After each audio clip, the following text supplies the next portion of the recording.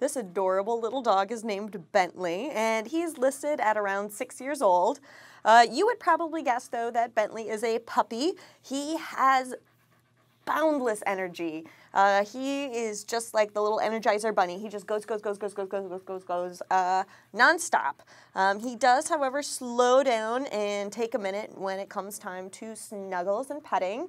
Uh, Bentley is very much a lap dog. He loves to be around people that he likes and knows, and he will rub up against you and give lots of kisses. I think that Bentley could be a really good match for you if you like to go hiking or running or you want to do all kinds of activities with your dog.